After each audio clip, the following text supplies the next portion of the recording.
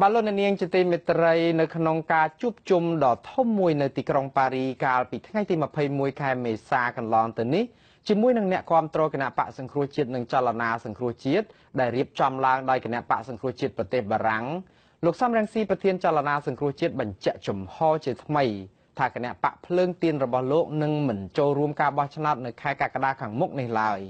លោកសំរងស៊ីក៏ប្រមានដែរថាលោកនឹងធ្វើយុទ្ធនាការការទូតមួយ ទាមទារឲ្យអង្គការសហប្រជាជាតិដកហូតអាសនៈកម្ពុជានៅឯមហាសន្និបាតអង្គការសហប្រជាជាតិដើម្បីកុំឲ្យអន្តរជាតិទទួលស្គាល់រដ្ឋាភិបាលថ្មីណាមួយដែលកាត់ចេញពីការបោះឆ្នោតនាថ្ងៃទី29ខែកក្កដាប្រសិនបើពុំមានដំណោះស្រាយនយោបាយហើយពុំមានវត្តមានគណៈបកសង្គ្រោះជាតិចូលរួមនៅក្នុងការបោះឆ្នោតជាតិនោះទេសូមអញ្ជើញលោកអ្នកនាងទស្សនាបទសម្ភាសន៍រវាងលោកជុនច័ន្ទបុតនិងលោកសំរងស៊ីដូចតទៅ។ បាទខ្ញុំបាទសូមជម្រាបសួរអាដាមសំរងស៊ីបាទសូមជម្រាបសួរលោកជនច័ន្ទបុតបាទរីករាយបានជួបអាដាមនៅទីក្រុងប៉ារីម្ដងទៀតខ្ញុំក៏សប្បាយចិត្តបានជួបលោកជនច័ន្ទបុតអាដាមខ្ញុំតាមដានច្រើនណាស់នៅពេលដែលអាដាមអញ្ជើញទៅប្រទេសជប៉ុនបន្ទាប់មកទៀតអញ្ជើញទៅប្រទេសឥណ្ឌូនេស៊ីហើយមិនទាន់មានឱកាសបានសភាអាដាមសោះយ៉ាងខ្លីតើលទ្ធផលនៃដំណើរទៅប្រទេសទាំងពីរនេះប្រទេសជប៉ុនហើយនិងប្រទេសឥណ្ឌូនេស៊ីនេះបានលទ្ធផលអីខ្លះជាដុំកំពួនអាដាម លទ្ធផលគួរឲ្យជាទីគាប់ចិត្តលទ្ធផលជាវិជ្ជមាន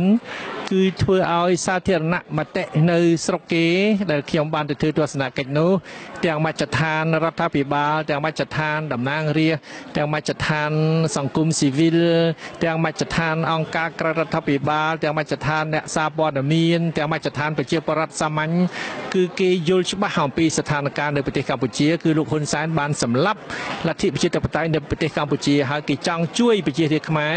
ឲ្យបានស្គាល់នៅលទ្ធិប្រជាធិបតេយ្យឡើងវិញតើមានការសន្យាឯណាមួយទេឧទាហរណ៍ទៅប្រទេសជប៉ុននេះជាដើមតើអាចនឹងបន្តថានឹងដាក់សម្ពាធដល់រដ្ឋាភិបាលក្រុងភ្នំពេញឲ្យដែរទេពីខាងជប៉ុនបើគេមិននិយាយបែបហ្នឹងគេគ្រាន់តែថាគេមិនចង់ឲ្យអាការងារដែលគេបានធ្វើដែលគេបានជួយយើងរាប់សិបឆ្នាំ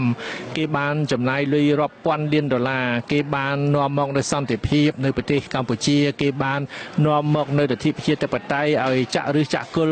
តែឥឡូវនេះលោកហ៊ុនសែនបែរទៅជាបំផ្លាញលទ្ធិប្រជាធិបតេយ្យគឺគេមិនសុខចិត្តទេគេនឹងធ្វើម៉េចឲ្យលទ្ធិប្រជាធិបតេយ្យរស់ឡើងវិញនៅប្រទេសកម្ពុជាឲ្យតលតែបានហើយរស់ឡើងវិញនេះតលតែមានការបោះឆ្នោតហើយការបោះឆ្នោតត្រឹមត្រូវគឺតលតែមានការចូលរួមពីគណៈបកសង្គ្រោះជាតិផងដែរបាទ អាដាមឃើញមានការប្រកាសច្រើនណាស់ទៅដល់ឲ្យប្រជាពលរដ្ឋនៅប្រទេសកម្ពុជាវិញនោះហើយការពិតនឹងគឺបើយើងតាមដានព័ត៌មានកន្លងមកនេះគឺលោកនាយករដ្ឋមន្ត្រីហ៊ុនសែនហាក់ដូចជាគាត់បង្ហាញថាគាត់មិនខ្វល់នឹងការគៀបសង្កត់ពីអន្តរជាតិប្រមាណក៏ប៉ុន្តែគាត់ហាក់ដូចជាខ្វល់ចំពោះប្រជាពលរដ្ឋនៅក្នុងស្រុកទៅវិញការខ្វល់របស់គាត់ដោយអាដាមបានជ្រាបឲ្យឃើញគាត់មួយថ្ងៃមួយថ្ងៃនឹងចុះទៅទិញទឹកចិត្តប្រជាពលរដ្ឋទិញផងគម្រាមផងអីជាដើមតើការដែលអំពាវនាវបើសិនជាគណៈបកសង្គ្រោះជាតិអត់អាចចូលទៅបោះឆ្នោតវិញនឹងការដែលអំពាវនាវនឹងតើអាចនឹងមានអ្នកទៅដឹកនាំដើម្បីឲ្យពួកគាត់ទី1ធ្វើពហិការមិនទៅបោះឆ្នោតផងទី2ទៀតបើសិនជាមានការបោះឆ្នោតមែនដោយមិនមានគណៈបកសង្គ្រោះជាតិមែនហើយឲ្យគាត់ងើបបះបោអីជាដើមនឹងតើមានអ្នកណាចលនាណាដែលអាចទៅដឹកនាំពួកគាត់បានយើងអត់មាននិយាយឲ្យបះបោទេ យើងគ្រាន់តែនិយាយអំពាវនាវសូមឲ្យប្រជាពលរដ្ឋខ្មែរគ្រប់រូប ដែលស្រឡាញ់លទ្ធិប្រជាធិបតេយ្យដែលចង់ឲ្យមានការផ្លាស់ប្ដូរជាវិជ្ជមានចង់ឲ្យស្រុកយើងសម្បូរសប្បាយទៅថ្ងៃមុខកុំឲ្យមានអំណាចប្រជាការអំពើពុករលួយបែបនេះសូមឲ្យបងប្អូនធ្វើពហិការគឺកុំចូលរួមក្នុងការបោះឆ្នោតបើយើងចូលរួមក្នុងការបោះឆ្នោតមួយ ដែលមិនមានគណៈបកសង្គ្រោះជាតិជាគូប្រកួតផងដែរនោះ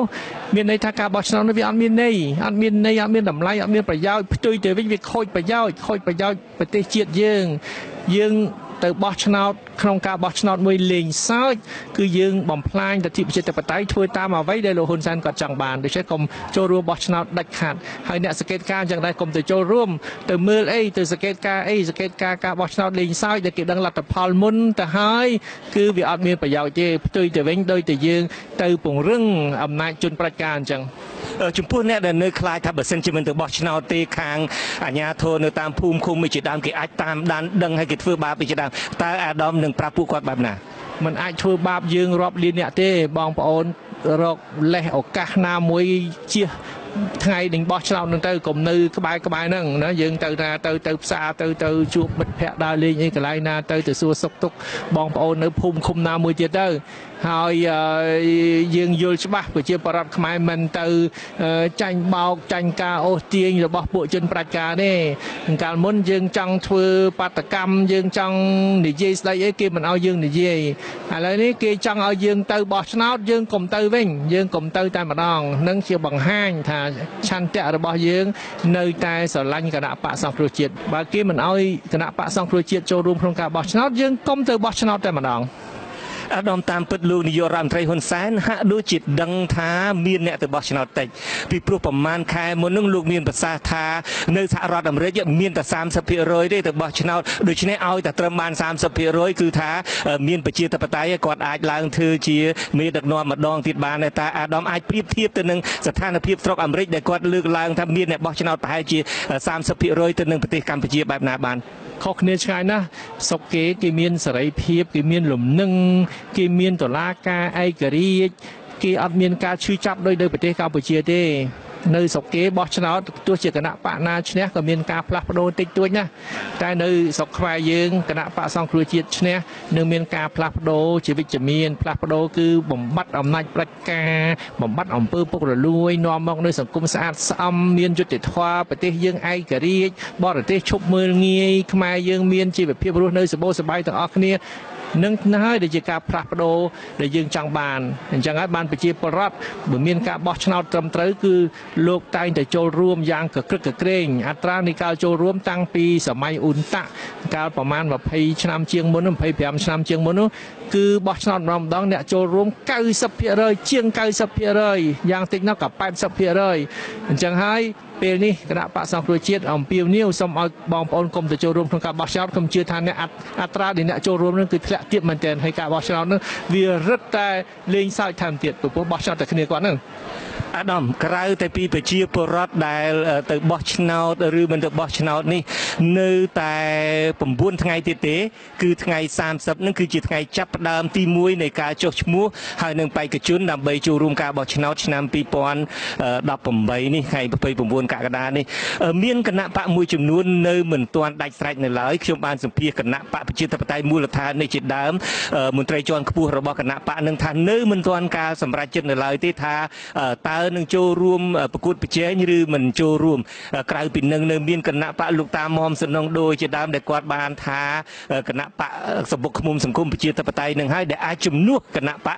ប្រឆាំងបាននេះជាដើមតើក្រៅតែពីអំពាវនាវដល់ប្រជាពលរដ្ឋឲ្យធ្វើពាក្យការមិនចូលរួមការបោះឆ្នោតអាដាមមានពាក្យសម្ដីបែបណាផ្ដាំផ្ញើទៅគណៈបកដទៃទៀតដែរ គ្មានគណៈបកណាអាចមកជំនួសគណៈបកសង្គ្រោះជាតិបានទេ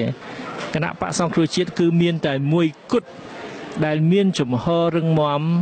ដែលនឹងនាំមកនូវការផ្លាស់ប្ដូរហើយដែលមានកម្លាំងគ្រប់គ្រាន់ដើម្បីឈ្នះគណៈបកកណ្ដាលអំណាចសប្តាហ៍គណៈបកដែលទៅតែកើតចេញថ្មីគណៈបកថ្មីថ្មោងគណៈបកដែលយើងដឹងថាជំហររបស់គេម្ដងអញ្ចេះម្ដងអញ្ចោះនឹងយើងមិនអាចទុកចិត្តបានទេដូច្នេះសូមបងប្អូន មើលតែលក្ខណៈមួយតែមួយគត់តើមានគណៈបកសង្គ្រោះជាតិឬអត់បើគ្មានគណៈបកសង្គ្រោះជាតិទេកុំចូលរួមក្នុងការបោះឆ្នោតគណៈបកតូចតាចនេះគេមកគ្រាន់តែលំអឆាកលខោនឲ្យហ៊ុនសែនទេ អរគុណអាដាមអឺខ្ញុំកាលពីទៅអូស្ត្រាលីថ្មីថ្មីនេះខ្ញុំបានសម្ភាសជាមួយនឹងលោក Gareth Evans ដែលជារដ្ឋមន្ត្រីក្រសួងការបរទេសអតីតរដ្ឋមន្ត្រីក្រសួងការបរទេសអូស្ត្រាលីដែល ជាបិតានៃសន្ធិសញ្ញាកិច្ចព្រមព្រៀងទីក្រុងប៉ារីគាត់បានមានប្រសាសន៍ថាការពិតពិបាកណាស់ស្ថានភាពពេលនេះក្នុងការដែលប្រមូលប្រទេសហត្ថលេខីទាំងអស់ដើម្បីឲ្យមកចូលរួមដោះស្រាយបញ្ហាប្រទេសកម្ពុជាដូចមុនទៀតនោះគឺថាពិបាកណាលោកបានលើកឧទាហរណ៍ថានៅក្នុងពិភពលោកសប្តាហ៍ថ្ងៃហ្នឹងគ្រាន់តែរបបដែលផ្ដាច់ការដោយលោកនាយករដ្ឋមន្ត្រីហ៊ុនសែនហ្នឹងមានម្ដុំពី40ទៅ50ប្រទេសទៅហើយដូច្នេះអធិភាពរបស់បរទេសនឹងគឺថាវាវាបែងចែកវាមិនដូចសម័យកាលពីមុន មានកិច្ចព្រមព្រៀងនៅប៉ារីទេកាលនោះឯងមានជនភៀសខ្លួននឹងរាប់សែនអ្នកនៅតាមព្រំដែននេះជាដើមសង្គ្រាមត្រជាក់ទើបតែនឹងចប់ទៅវិញឯជាដើមមហាប្រទេសនឹងគឺថានាំគ្នាធ្វើយ៉ាងណាឲ្យភាគីឆ្លោះគ្នាទាំងអស់នឹងរួមគ្នាដូច្នេះហើយបានជាមានសហគមន៍អន្តរជាតិចូលរួមឡើងតើចំពោះអាដាមវិញ អាដាមគិតថាស្ថានភាពពេលនេះអាចទុំជួបែបណាបានដែលធ្វើឲ្យសហគមន៍អន្តរជាតិងាកមកជួយប្រទេសកម្ពុជាដូចសម័យកិច្ចព្រមព្រៀងទីក្រុងប៉ារីអាដាមវាមានហេតុផលថ្មី ដែលយើងមិនដែលឃើញមានមុនហើយអាមានមុនដែលធ្លាប់មានឥឡូវវាអត់មានទៀតតែឥឡូវវាមានថ្មីដែលមិនដែលមានពីមុនដោយឃើញថាស្ថានភាពនៅប្រទេសកម្ពុជាធ្លាក់ដុនដាបមែនទែនហើយនាំមកនៅគ្រោះថ្នាក់សម្រាប់ ប្រទេសជិតខាងសម្រាប់មហាអំណាចខ្លះដែលគេព្រួយបារម្ភពីការបាត់បង់តុល្យភាពអំណាច នៅតំបន់អាស៊ីភាគអាគ្នេយ៍លោកហ៊ុនសែនគាត់ទៅអែបជាមួយចិនដោយកាលប៉ុលពតទៅអែបជាមួយចិន អ្នកណាដែលប្រើអំណាចផ្ដាច់ការធ្វើបាបប្រជារាស្ត្រនៅប្រទេសកម្ពុជាដោយត្រូវអន្តរជាតិថ្កោលទោសអត់មានប្រទេសណាគ្រប់គ្រងក្រៅពីប្រទេសចិន យើងឃើញថាប៉ុលពតដែលមានការគ្រប់គ្រងពីប្រទេសចិននាំមកនៅ ទុកវេទនាការជឿចាប់ដល់ណា ចំពោះប្រជារាស្ត្រខ្មែរហើយបន្ទាប់មកនាំមកនៅសង្គ្រាមស៊ីវិលនាំមកនៅការលួកដៃពីប្រទេសជិតខាង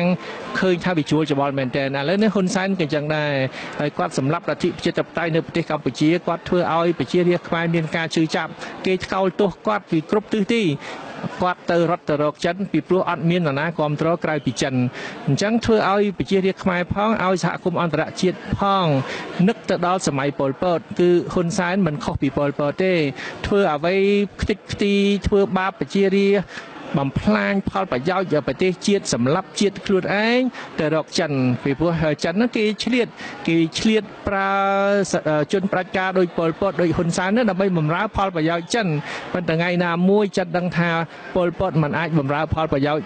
ចិនបានទៀតដូចជាថ្ងៃណាមួយហ៊ុនសែនមិនអាចបំរើផលប្រយោជន៍ចិនបានទៀតពេលនោះចិនគង់តែកលាស់ប៉ុន្តែមុននឹងកលាស់ខ្លាចវាប៉ះពាល់ដល់ផលប្រយោជន៍ជាតិយើងយ៉ាងធ្ងន់ធ្ងរអញ្ចឹងហើយបានប្រជារាស្ត្រខ្មែរក៏ត្រូវងើបដើម្បីតស៊ូហើយអន្តរជាតិគេគេមិនអោយក៏គេមិនបណ្ដោយឲ្យហ៊ុនសែនលេងតបៃនឹងទេលេងតបៃនឹងវាប្រកបដោយគ្រោះថ្នាក់ទៅអែបជាមួយចិនទៅគ្រប់គ្រងចិនឲ្យចិននឹងវាទីប៉ះគេប៉ះឯងនឹងប្រទេស ជុំវិញហ្នឹងដែលហ៊ុនសែនធ្វើឲ្យចិនវៀតទីប៉ះគេប៉ះអីជួយឲ្យចិនដឹកនាំនយោបាយបែបហ្នឹងច្បាស់ជាគេប្រតិកម្មហើយហើយស្ថានភាពឥឡូវមិនមែនដូចស្ថានភាពកាលសម័យពលពត30ឆ្នាំមុនទេ40ជាងឆ្នាំមុនទេពីព្រោះថាឥឡូវនេះអាមេរិកកាំងហើយនិងប្រទេសវៀតណាម គេត្រូវគ្នាហើយអ្នកណាធ្វើឲ្យប៉ះពាល់ផលប្រយោជន៍អាមេរិកកាំងផងផលប្រយោជន៍ប្រទេសវៀតណាមផងដែលត្រូវតតាំងជាមួយប្រទេសចិន គឺអ្នកនោះប្រហែលជាជួបការផលវិបាកហើយ អាដាមអាដាមមានប្រសាសន៍ចំពោះមុខអ្នកគ្រប់គ្រងអំបញ្ញមិញនេះថាលោកនាយករដ្ឋមន្ត្រីហ៊ុនសែនឈប់លេងលបែងប្រជាធិបតេយ្យហើយហើយលេងលបែងផ្ដាច់ការទៅវិញឧបមាថាការបោះឆ្នោតនៅតែមានអ្វីទៅបើតែអាចមានអ្នកទៅបោះឆ្នោតតិចតួចយ៉ាងណាក៏ដោយចុះបន្ទាប់ពីបោះឆ្នោតហើយស្រាប់តែគាត់ដូរលបែងទៅវិញគាត់ដូរលបែងផ្ដាច់ការគាត់ធ្វើជាលបែងប្រជាធិបតេយ្យទៅវិញ មានការដោះលែងលោកកឹមសុខាមានការដោះលែងសង្គមស៊ីវិលមានការបើកឲ្យមានសេរីភាពដោយប្រកាសថានឹងមានការកែតម្រង់អីលើកមុនគាត់ថាកែតម្រង់ស៊ីជម្រៅឥឡូវអាចថាកែតម្រង់មហាស៊ីជម្រៅអីជាដើមឬមួយក៏គាត់ដូរអ្នកដឹកនាំស្រាប់តែកូនណាមួយរបស់លោកឡើងកាន់ជានាយករដ្ឋមន្ត្រីអីជាដើមយើងនឹងសង្កេតមើលអាចនឹងមានកូនរបស់លោកឈរឈ្មោះជាតំណាងរាស្ត្រច្រើនហើយស្រាប់តែបោះឆ្នោតហើយគាត់ដូរលបែងទៅវិញតើអាដាមយល់ថាសហគមន៍អន្តរជាតិអាចនឹងសម្របសម្រួលឃើញថាគាត់ចាប់ផ្ដើមដូរហើយទេហើយយល់ល្អនឹងធ្វើការជាមួយគាត់តទៅទៀតទេអាចនឹងចេញទៅជាលបែងនឹងទេទៅថ្ងៃមុខអត់ផ្លូវទេគ្មាននរណាគេដើរតាមលោកហ៊ុនសែនម្ដងបាតដៃម្ដងខ្នងដៃម្ដងប្រជាធិបតេយ្យคล้ายคล้ายឥឡូវអាคล้ายคล้ายនេះមិនតែคล้ายคล้ายថែមទៀតវាងាប់តែម្ដងព្រោះទៅចង់ទៅព្រោះលទ្ធិប្រជាធិបតេយ្យឡើងវិញគ្មាននរណាគេដើរតាមគាត់អញ្ចឹងទេគាត់សម្លាប់លទ្ធិប្រជាធិបតេយ្យហើយនៅឆ្នាំ2017នេះហើយមកដល់ឆ្នាំ2018រៀបកម្មរៀបចំការបោះឆ្នោតនេះមិនមែនជាការបោះឆ្នោតតាមបែបបទប្រជាធិបតេយ្យទីការបោះឆ្នោតលេងសើចបន្ទាប់ពីគាត់បានសម្ ្លាប់លទ្ធិប្រជាធិបតេយ្យរួចទៅហើយដើម្បីធ្វើឲ្យលទ្ធិប្រជាធិបតេយ្យរស់ឡើងវិញទាល់តែយើងបដូររបបហ៊ុនសែនចេញ អអាដាមអឺគណៈបកអឺសិទ្ធិមនុស្សបានធ្វើសមាជរំលាយខ្លួនឯងចោលហើយដូច្នេះគណៈបកសិទ្ធិមនុស្សនឹងគ្មានលទ្ធភាពណានឹងចូលរួមចុះឈ្មោះបោះឆ្នោតទេហើយដោយអាដាមបានជ្រាបហើយតែ9ថ្ងៃទៀតទេនឹងការចាប់ផ្ដើមចុះឈ្មោះបោះឆ្នោតបើសិនជាអាដាមព្យាយាមកុំឲ្យឲ្យគណៈបកសង្គ្រោះជាតិរស់ឡើងវិញហើយមិនបាននោះតើគណៈបកភ្លើងទៀនអាចនឹងចុះឈ្មោះបោះឆ្នោតទេអត់ដាច់ខាត រឿងគណៈបករំលាយខ្លួនឯងមិនរំលាយខ្លួនឯងមិនសំខាន់ទេអ្វីដែលសំខាន់គឺគោលជំហរមិនចូលរួមក្នុងការបោះឆ្នោតដាច់ខាតបើគ្មានវត្តមានគណៈបកសង្គ្រោះជាតិដូច្នេះគ្មានពេលណាដែលភ្លើងទៀនចូលរួមជំនួសគណៈបកសង្គ្រោះជាតិទេអត់ដាច់ខាត អ្នកណាដែលចូលរួមក្នុងការបោះឆ្នោតបើគ្មានគណៈបកសង្គ្រោះជាតិគឺអ្នកនោះធ្វើឲ្យយ៉ងលោកហ៊ុនសែនលេងលបែងលោកហ៊ុនសែនលបែងសម្លាប់លទ្ធិប្រជាធិបតេយ្យសំណួរចុងក្រោយអាដាមបើសិនជា ទីបំផុតទៅសហគមន៍អន្តរជាតិប្រកាសមិនទទួលស្គាល់រដ្ឋាភិបាលដែលកើតឡើងក្រោយការបោះឆ្នោត ដែលមានតែ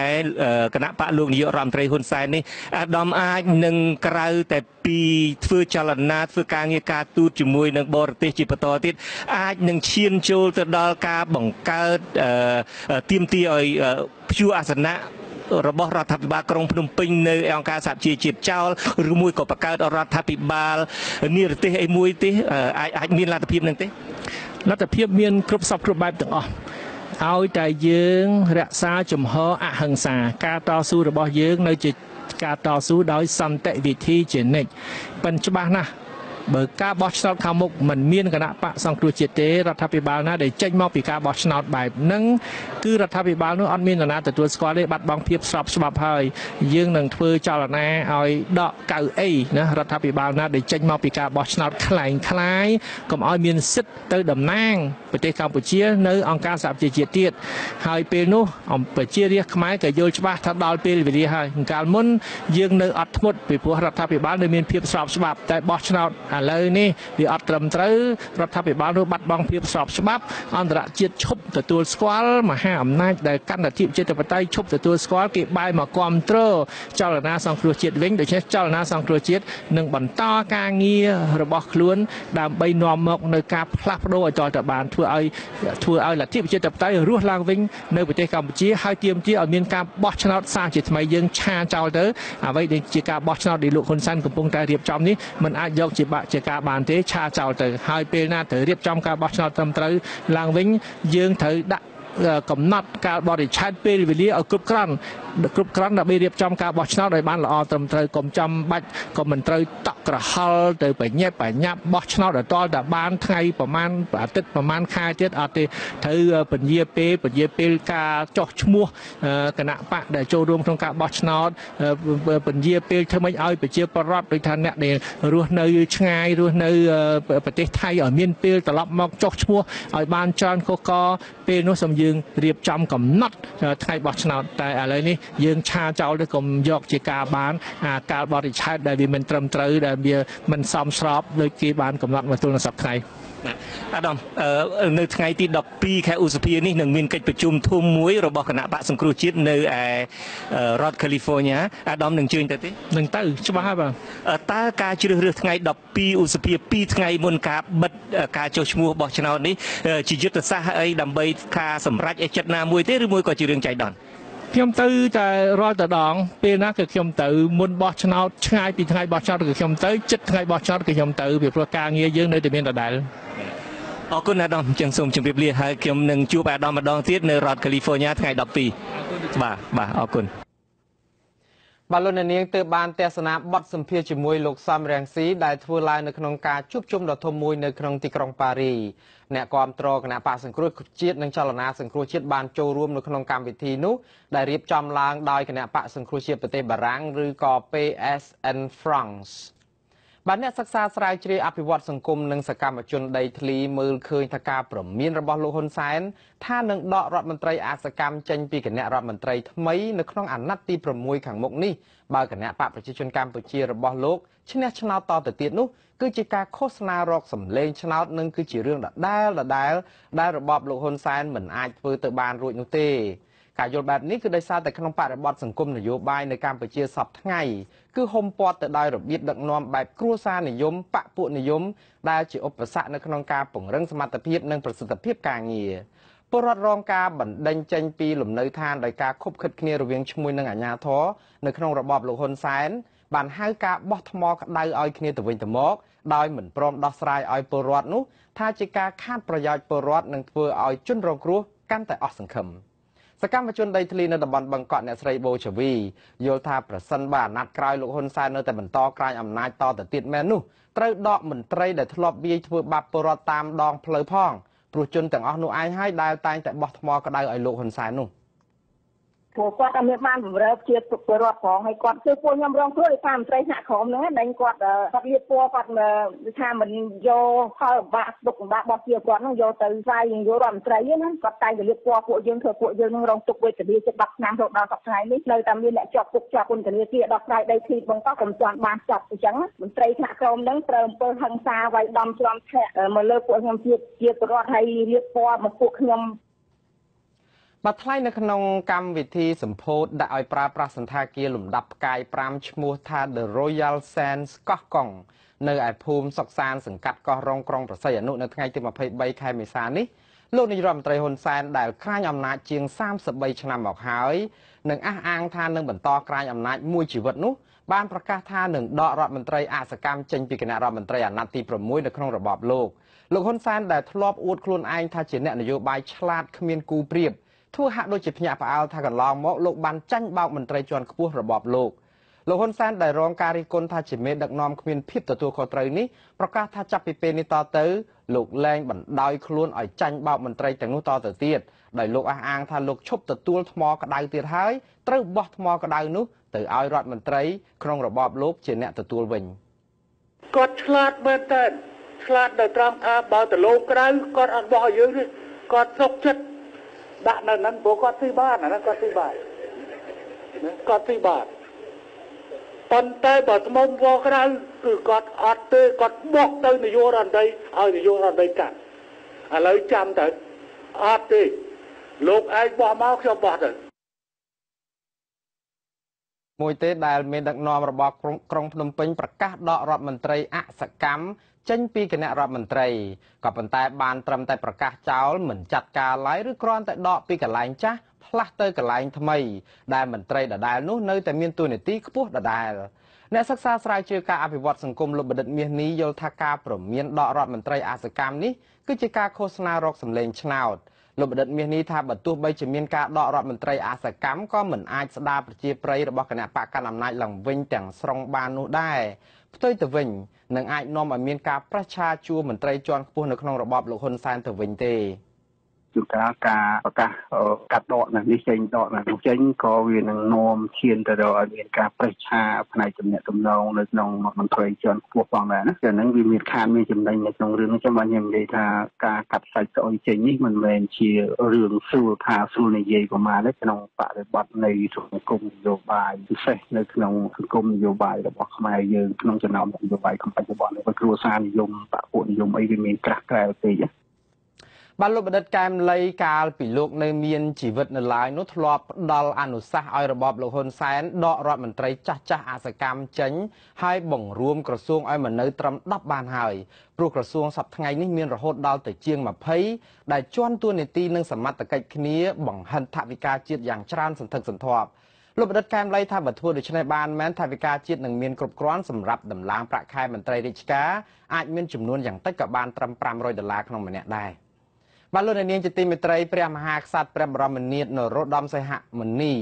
បានមានព្រះរាជបន្ទូលប្រាប់ទៅសមាជិកប្រសិទ្ធិអាណត្តិថ្មីនេះឲ្យជួយបន្តពូនជ្រុំប្រជាធិបតេយ្យនៅកម្ពុជា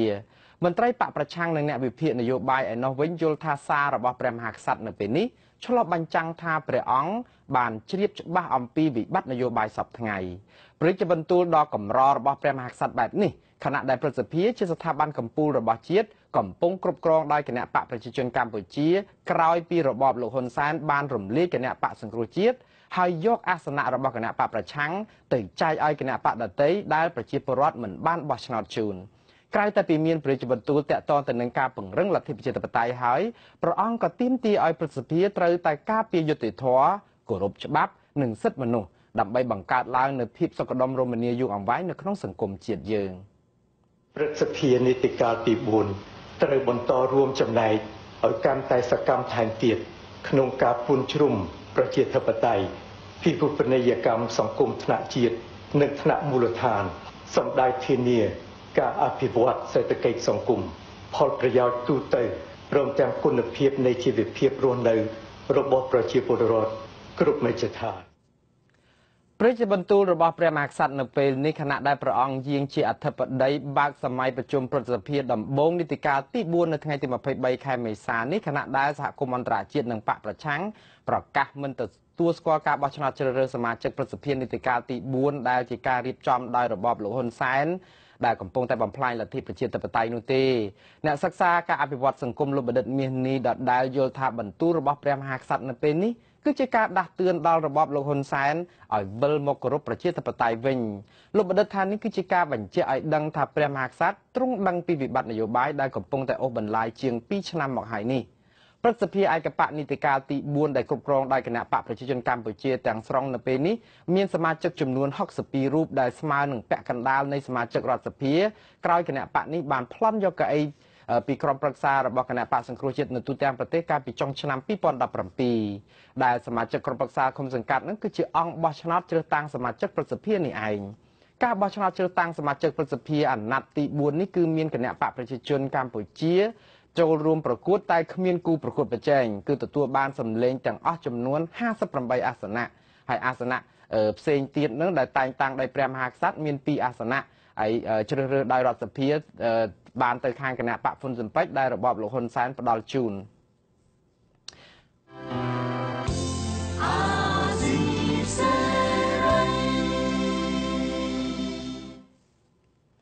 បាទលោកនាងជាទីមេត្រីលោកនាងកំពុងតែទស្សនាទូរទស្សន៍អាស៊ីសេរីផ្សាយផ្ទាល់ចេញពីរដ្ឋធានី Washington សហរដ្ឋអាមេរិកលោកហ៊ុនសែនដដាលបានបើកកិច្ចប្រជុំបិទទ្វារមួយកាលពីថ្ងៃអាទិត្យទី22ខែមេសាកន្លងទៅនេះជាមួយនឹងមេដឹកនាំសហជីព ហើយលោកបានប្រមានមេដឹកនាំសហជីពពីររូបគឺលោករងឈុននិងលោកអាត់ធុនដែលគេស្គាល់ថាជាមេដឹកនាំសហជីពសកម្មដែលតែងតែដឹកនាំកម្មករធ្វើកោតកម្មកន្លងមកនោះ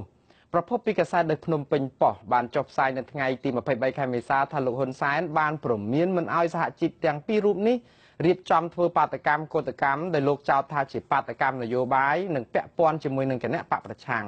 ប្រធានសហជីពសំទោសប្រធានសហភាពការងារកម្ពុជាលោកអាត់ធុនលើកឡើងថាសហជីពកំពុងតែជួបការលំបាកខ្លាំងនៅក្នុងការបំពេញការងាររបស់ខ្លួនដើម្បីជួយដោះស្រាយបញ្ហាកម្មករលោកបញ្ជាក់ថាសហជីពកម្មករត្រូវតែប្រុងប្រយ័ត្នខ្ពស់ជាប់ជានិច្ចដោយសារតែអាចងាយជួបនឹងបញ្ហានៅក្នុងស្ថានភាពបែបនេះ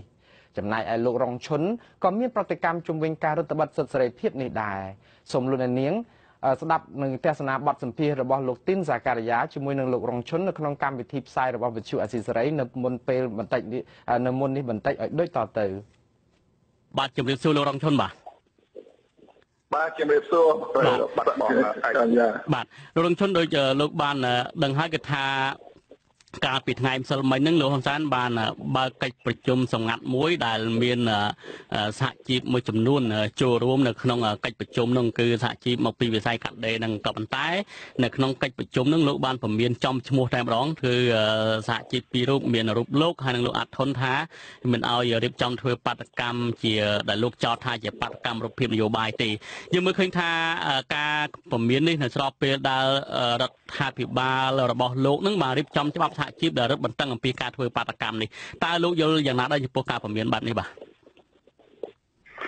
ចំពោះការពមៀនរបស់លោកនាយករដ្ឋមន្ត្រីចំពោះខ្ញុំ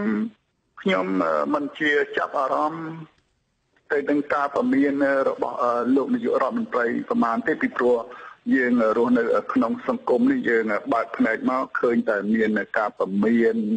វាយបាក់ថ្មិញវាយនឹងគុលស័យហើយក៏មានមិនឲ្យធ្វើនេះមិនឲ្យធ្វើនោះហើយយើងគិតថា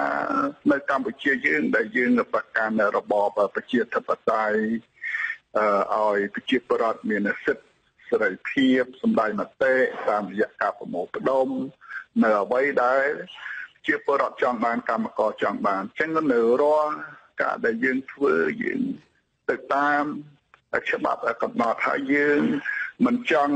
ប្រើប្រាស់រូបភាពបាតកម្មដឹកនាំកម្មករកម្មការនីទៀមទាលក្ខខណ្ឌការងារទៀមទាប្រាក់ឈ្នួលឲ្យប្រកបនៃនយោបាយនៅក្នុងនឹងទេពីព្រោះយើងមិនមិនមិនប្រើប្រាស់រូបភាពបដកម្មប្រកបនៃនយោបាយដើម្បីបំណងផ្ដួលរដ្ឋាភិបាលអី គ្មានបំណងដូច្នោះទេកុំឲ្យលោកនាយករដ្ឋមន្ត្រីមានការព្រួយបារម្ភតាក់ទងទៅនឹងរឿងបញ្ហាទាំងអស់នេះពីព្រោះយើងប្រកាន់ចំហយើងធ្វើអង្គការសង្គមស៊ីវិលធ្វើសហជីពយើងចង់ឃើញសង្គមកម្ពុជាមួយមានការបោះឆ្នោតដោយសេរីត្រឹមត្រូវយុត្តិធម៌ដោយមានគ្រប់ភាគីគណៈបកនយោបាយដូចជាគណៈបកសង្គ្រោះជាតិចឹងមានការចូលរួមការបោះឆ្នោត បើសិនជាយើងចង់រក្សានៅស្ថិរភាពសង្គមរក្សានៅសន្តិភាព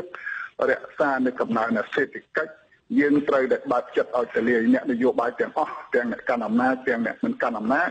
ត្រូវបើកចិត្តឲ្យទលាយហើយចូលតុចរចាទៅចែកគ្នារកដំណោះស្រាយឲ្យគ្រប់ភាគីនយោបាយអ្នកនយោបាយទាំងអស់ហ្នឹងចូលរួមប្រកួតប្រជែងគ្នាតាមរយៈ ការបោះឆ្នោតហ្នឹងបាទហើយបើសិនជាយើងវាយតែភាគីមួយខាងហើយទុកតែភាគីមួយខាង យើងគិតថាទៅពេលខាងមុខសង្គមយើងមិនអាចទទួលបាននៅស្ថិរភាពសង្គមឬសន្តិភាពនោះទេនៅពេលលកិតណាដែលអ្នកបញ្ជាទិញគេដាក់ទណ្ឌកម្មឡំបត់សេដ្ឋកិច្ចពេលហ្នឹងហើយដែលធ្វើឲ្យ កម្មករបាត់បង់ការងារធ្វើឲ្យសង្គមកម្ពុជាកើតសកលជុកបាទបាទអឺលោករងឈុនយើងមើលរបបលោកហ៊ុនសែនមិនមែនជារឿងថ្មីទេបញ្ហាប្រឈមរបស់អ្នកដែលបញ្ចេញមតិអ្នករិះគន់ឬក៏ពិសេសគឺខាងមេដឹកនាំសហជីពតែម្ដងយើងមើលឃើញថាលោកជាវិជាដែលជាប្រធានសហជីពដ៏ល្បីដ៏សកម្ម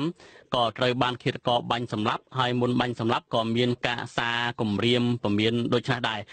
បញ្ហាមួយទៀតនៅពេលដែលនៅក្នុងឆ្នាំ2017ក្រោយពីរបបលហ៊ុនសែនបានរំលាយគណៈបកសង្គ្រោះជាតិហើយសិទ្ធិសេរីភាពបញ្ចេញមតិការជួបជុំកាន់តែរឹតបន្តឹងពិសេសច្បាប់សហជីពនឹងបានចេញមកចងមិនអោយមេដឹកនាំសហជីពនឹង តាក់ទងដោយផ្ទាល់ជាមួយកម្មករគឺច្បាប់នឹងអាចចាប់ប្រកាន់ពីបទញុះញង់អីជាដើមហើយពិសេសទៅទៀតហ្នឹងគឺលោកជាមនីដែលជាប្អូនប្រុសបង្កើតរបស់លោកជាវិជាក៏ត្រូវបានតឡាការចេញនៃការកោះហៅតាក់ទងនឹងការចាប់ប្រកាន់ពីបទញុះញង់ដែរនៅពេលដែលលោកជាមនីលើកឡើងថាបើសិនជាស្ថានភាពវិបត្តិនយោបាយនៅតែបន្តអស់បន្លាយគឺខាង ប្រទេសបញ្ជាទិញនឹងអាចឈប់ទិញហើយពេលហ្នឹងគឺបាតកោនឹងងើបបាតកម្មបះបោឡើងអីចឹងក៏ស្រាប់តែមាននៃការកោះហៅលោកជាមនីជាដើមឥឡូវនេះគឺថាមានការអឺពមៀនលោកហើយនឹងលោកអាត់ថុនបន្ថែមទៀតតើលោកមានការព្រួយបារម្ភអំពីសវត្ថភាព អំពីការចាប់ខ្លួននិងការបាញ់សម្លាប់ចោលទេលោកបាទអឺជាការពិតធម្មតាយើងរស់នៅ ក្នុងសង្គមមួយហើយ តែងតែមានការគម្រាមកំហែងបំផិតបំភ័យយើងតែងតែមានការព្រួយបារម្ភហើយប៉ុន្តែអ្វីដែលយើងត្រូវធ្វើយើងនៅតែបន្តធ្វើយើងធ្វើទៅតាមអ្វីដែលច្បាប់បានកំណត់ហើយបើយើងឃើញសង្គមទទួលរងនៅអង្គើអយុត្តិធម៌កម្មករទទួលរងនៅអង្គើអយុត្តិធម៌គ្រូបង្រៀនទទួលរងនៅអង្គើអយុត្តិធម៌យើងត្រូវតែចេញមុខការពារ ចិត្តធម៌ការពារអ្នកទុនខ្សោយយើងមិនរៀថយទេទោះបីស្ថិតនៅក្នុងស្ថានភាពគម្រាមកំហែងបែបណាក៏ដោយយើងត្រូវតែស្វត់ស្វាញដើម្បីស្វែងរកអឺការជួយអន្តរាគមន៍ទៅដល់អ្នកទុនខ្សោយបាទបាទ អឺយើងឃើញសហជីពមួយចំនួនទៀតដែលតែងតែចេញសេចក្តីថ្លែងការណ៍គ្រប់គ្រងរដ្ឋាភិបាលលោកហ៊ុនសែនហើយសហជីពមួយចំនួននោះត្រូវបានគេមើលឃើញថាត្រូវបានរបបលោកហ៊ុនសែនទិញទឹកចិត្តហើយធ្វើការមានថាគ្រប់គ្រងរដ្ឋាភិបាលអីចឹងជាដើមហើយលោកហ៊ុនសែនកាលពីថ្ងៃម្សិលមិញហ្នឹងក៏បាននិយាយថា ពីនីវឲ្យសហជីពទាំងអស់ត្រូវធ្វើការសហការជាមួយរដ្ឋាភិបាលតើការអំពាវនាវឲ្យធ្វើការសហការបែបនេះលោកយល់ឃើញដូចមិនដែរបាទបាទនាយករដ្ឋមន្ត្រីអំពាវនាវឲ្យសហជីពទាំងនោះធ្វើការសហការជាមួយរដ្ឋាភិបាលមានន័យថាសហជីពទាំងអស់នោះត្រូវបាត់បង់ឯករាជ្យភាពរបស់ខ្លួនហើយបើយើងពិនិត្យមើលច្បាប់សហជីពពិនិត្យមើលច្បាប់ការងារ ស្ថាប័នអង្គការឬមួយសហជីពសមាគមត្រូវតែឯករាជ្យមិនត្រូវនៅក្រោមអធិបុលនយោបាយណាមួយនោះទេ ហើយខ្ញុំយល់ថាសហជីពទាំងអស់គួរតែធ្វើខ្លួនឲ្យឯករាជ្យហើយការពារផលប្រយោជន៍កម្មករកម្មការនីជៀសវាងយកតួនាទីអឺសហជីពទៅបំរើឲ្យនយោបាយអានឹងវាជា ខុសទៅនឹងគោលការណ៍ក៏ដូចជាអនុសញ្ញា ILO ផងដែរហើយខ្ញុំគិតថាសហជីពទាំងអស់គួរតែអំពាវនាវឲ្យរដ្ឋាភិបាលសម្របខ្លួនចូលតុចរចាជជែកគ្នារកដំណោះស្រាយការជាប់គាំងនយោបាយនៅកម្ពុជា ដើម្បីរក្សានៅសន្តិភាព រក្សាស្ថិរភាព រក្សាកំណើនសេដ្ឋកិច្ច និងរក្សាការងារជូនកម្មករកម្មការនីជៀសវាងអឺយើងមិនมันមានសេចក្តីក្លាហានទទួលស្គាល់ការពិតត្រូវតែមានសេចក្តីក្លាហានទទួលស្គាល់ការពិតទាំងអស់គ្នាហើយសូមឲ្យអ្នកនយោបាយទាំងអស់នឹងទាំងអ្នកកាន់អំណាចទាំងអ្នកមិនកាន់អំណាចនឹងត្រូវចូលតបចរចាទៅជែកគ្នារកដំណោះស្រាយដើម្បីសង្គមជាតិយើងហើយអ្នកដែលចំណេញគឺប្រជាពលរដ្ឋនិងជាតិហើយបើសិនជាយើងធ្វើ ដោយរាល់ថ្ងៃនេះ គឺអ្នកដែលខាតគឺជាតិហើយអឺកម្មករជាពលរដ្ឋដែលជាអ្នកខាតហើយអ្នកដែលចំណេញគឺប្រទេសជិតខាងហើយប្រទេសដែលគេឆ្លៀតឱកាសកេងចំណេញលើកម្ពុជាយើងនេះបាទបាទសូមអរគុណច្រើនលោករងឈុនបានផ្ដល់បទសម្ភាសន៍នៅពេលនេះហើយសូមជូនពរលោកមានសុវត្ថិភាពនិងសន្តិសុខជារៀងរហូតបាទសូមអរគុណសូមជម្រាបលាបាទបាទបាទអរគុណសូមជម្រាបលាបាទអរគុណបាទ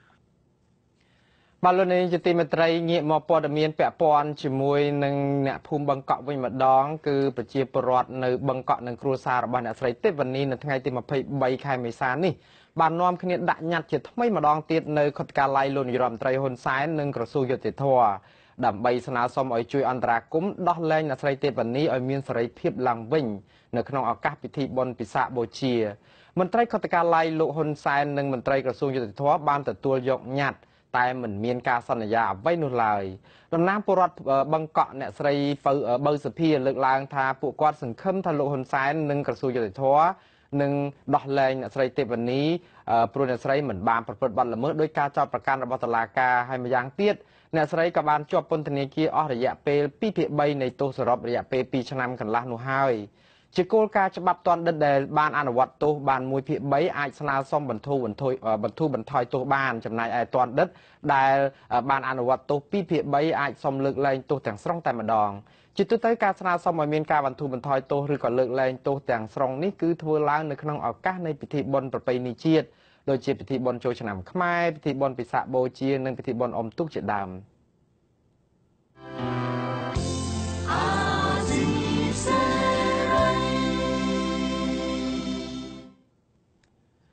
បាទក្រសួងការបរទេសអាមេរិកកាលពីចុងសប្តាហ៍នេះបានផ្សាយរបាយការណ៍សិទ្ធិមនុស្សប្រចាំឆ្នាំ2017អំពីការរំលោភសិទ្ធិមនុស្សនិងការធ្វើទុកបុកម្នេញគណៈបកប្រឆាំងដែលបន្តកើតឡើងមានយ៉ាងធ្ងន់ធ្ងរនៅឯប្រទេសកម្ពុជាក្រសួងការបរទេសអាមេរិកក៏សម្គាល់ថាការបំពានទាំងនោះប្រព្រឹត្តឡើងដោយភ្នាក់ងាររបបផ្ដាច់ការរបស់លោកហ៊ុនសែនដែលគណៈបកកាន់អំណាចស្ថិតនៅពីក្រោយខ្នង របាយការណ៍បន្ថែមទៀតថាការបិទសិទ្ធិសេរីភាពបញ្ចេញមតិការប្រមូលផ្ដុំសិទ្ធិសេរីភាពសារព័ត៌មាននិងការបញ្ចេញមតិតាមបណ្ដាញអ៊ីនធឺណិតនៅតែបន្តកើតមានឡើងអាជ្ញាធររបបលោកហ៊ុនសែននៅតែប្រើការសម្លុតបំភ័យប្រើប្រាស់ហិង្សាចាប់អ្នកប្រឆាំងសង្គមស៊ីវិលដាក់ពន្ធនាគារក្រៅពីនេះបញ្ហាអំពើពុករលួយអំពើហិង្សាលើស្ត្រីនិងមនុស្សស្រឡាញ់ភេទដូចគ្នាការរំលោភបំពានលើកុមារនិងពលកម្មដោយបង្ខំនៅតែបន្តចាក់ឫសជ្រៅនៅកម្ពុជា របាយការណ៍ផ្សាយកាលពីថ្ងៃទី20ខែមេសាចុងសប្តាហ៍នេះបានឲ្យដឹងទៀតថាករណីបាញ់សម្លាប់លោកបណ្ឌិតកែមលីគឺអឿនអាងហៅជួបសម្លាប់បង្កឲ្យមានការបន្តមន្ទិលសង្ស័យជាច្រើនពីសំណាក់អ្នកសង្កេតការណ៍ថាករណីឃាតកម្មដ៏ល្បីល្បាញមួយនេះត្រូវបានរៀបចំដោយភាគីទី3ផ្សេងទៀតដែលបានជួលឃាតករស៊ីឈ្នួលជួបសម្លាប់ដើម្បីពិឃាតបណ្ឌិតកែមលីដែលល្បីខាងរិះគន់កែលម្អរបបលោកហ៊ុនសែនរបាយការណ៍បន្ថែមទៀតថាសេរីភាពសារព័ត៌មានក៏រងការវាយប្រហារខ្លាំងណាស់ដែរ កាលពីខែកញ្ញាអាស៊ីសេរីផ្នែកខេមរៈពិសាបានបង្ខំចិត្តបិទការិយាល័យនៅកម្ពុជាដោយសារតែគំនាបនឹងការធ្វើទុកបុកម្នេញពីរបបក្រុងភ្នំពេញមុនពេលនៃការបោះឆ្នោតខែកក្កដាខាងមុខនេះអំពើរំលោភសិទ្ធិមនុស្សធ្ងន់ធ្ងរមានដូចជាការបាញ់សម្លាប់ក្រៅប្រព័ន្ធច្បាប់កងកម្លាំងនិងអាជ្ញាធររបបភ្នំពេញជាប់ពាក់ព័ន្ធទៅនឹងករណីបាត់ខ្លួនរបស់ព្រះសង្ឃការរំលោភសិទ្ធិជនជាប់ឃុំមន្ទីរឃុំឃាំងនិងការចាប់ខ្លួនមនុស្សដោយមិនស្របច្បាប់គ្មានឯកាតឡាការជាក់ស្ដែងដោយករណីលោកកឹមសុខនេះជាដើម បាទលោកនាងជាទីមេត្រីមន្ត្រីសង្គមស៊ីវិលនិងពលរដ្ឋនៅឯខេត្តបន្ទាយមានជ័យឯណោះបារម្ភអំពីដំណើរការរថភ្លើងថ្មីពីក្រុងប៉ោយប៉ែតទៅក្រុងសេរីសុភ័ណ្ឌថាពុំមានសវត្ថិភាពដោយបានបង្កគ្រោះថ្នាក់ចរាចរណ៍ញឹកញាប់មន្ត្រីសង្គមស៊ីវិលនិងពលរដ្ឋទទូចឲ្យមន្ត្រីពាក់ព័ន្ធត្រូវទទួលខុសត្រូវចំពោះមុខច្បាប់ប្រសិនបើមានករណីរថភ្លើងបុកអ្នកដំណើរតាមដងផ្លូវបន្តទៅទៀតនោះ ប្រជាពលរដ្ឋរស់នៅអមផ្លូវរថភ្លើងក្រុងប្រៃប៉ែតកាលឲ្យដឹងថ្ងៃទី23ខែមេសានេះថាក្រោយពីបើកដំណើរការផ្លូវរថភ្លើងពីក្រុងប៉ោយប៉ែតទៅទីរួមខេត្តបន្ទាយមានជ័យមកពួកគាត់ឃើញថាគ្មានសវត្ថិភាពនៅក្នុងការធ្វើដំណើរឆ្លងតាមផ្លូវរថភ្លើងនោះទេជាពិសេសកុមារតូចៗដែលមានផ្ទះនៅគៀកផ្លូវរថភ្លើងនោះតែម្ដងប្រឈមទៅនឹងគ្រោះថ្នាក់ដល់អាយុជីវិតហើយរថភ្លើងក៏បានបុករថយន្តជាច្រើនលើកមកហើយដែរ ក្នុងគេហទំព័រស្នងការនគរបាលជាតិឲ្យដឹងថារថភ្លើងពីក្រុងសេរីសុភ័ណ្ឌទៅក្រុងប៉ោយប៉ែតបង្កគ្រោះថ្នាក់ចរាចរណ៍ដល់អ្នកបើកបររថយន្តឆ្លងកាត់ផ្លូវចំនួន3លើកទៅហើយគឺនៅព្រឹកថ្ងៃទី23ខែមេសារថភ្លើងបានបើកបុករថយន្តដឹកដីមួយដែលបើកឆ្លងកាត់ផ្លូវនៅភូមិនិមិត្តហើយកាលពីថ្ងៃទី21មេសារថភ្លើងបានបុករថយន្តមួយគ្រឿងដែរនៅសង្កាត់ផ្សារកណ្ដាលនិងមួយកន្លែងទៀតបុករថយន្តម៉ាកកាំរីនៅឃុំគុតស័ត ស្រុកអូជ្រៅកាលពីថ្ងៃទី7ខែមេសាក៏ប៉ុន្តែគ្រោះថ្នាក់ចរាចរណ៍ទាំង3លើកនោះពុំមានមនុស្សស្លាប់នៅឡើយទេមន្ត្រីសម្របសម្រួលសមាគមការពារសិទ្ធិមនុស្សអាត់ហុកនៅខេត្តបន្ទាយមានជ័យលោកស៊ុំច័ន្ទគាថាប្រសិនបើរដ្ឋអំណាចមិនមានឧបករណ៍សម្រាប់ការពារសវត្ថិភាពតាមដងផ្លូវទេរថភ្លើងនឹងបុកអ្នកដំណើរឆ្លងកាត់ផ្លូវដែកមួយនេះដែលអាចបណ្ដាលឲ្យមានមនុស្សស្លាប់ឬរបួសនៅថ្ងៃអនាគតជាក់ជាពំខាន នាងជាទីមេត្រីលោកនាងទើបតែបានទស្សនាទូរទស្សន៍អាស៊ីសេរីផ្សាយចេញពីរដ្ឋធានី Washington សហរដ្ឋអាមេរិកខ្ញុំបាទមុនណារ៉េតព្រមទាំងក្រុមការងារទាំងអស់នៃទូរទស្សន៍និងវិទ្យុអាស៊ីសេរីសូមជូនពរលោកនាងកញ្ញានិងក្រុមគ្រួសារទាំងអស់ឲ្យជួបប្រកបតែនឹងសេចក្តីសុខគ្រប់ប្រការខ្ញុំបាទសូមអរគុណនិងសូមជម្រាបលា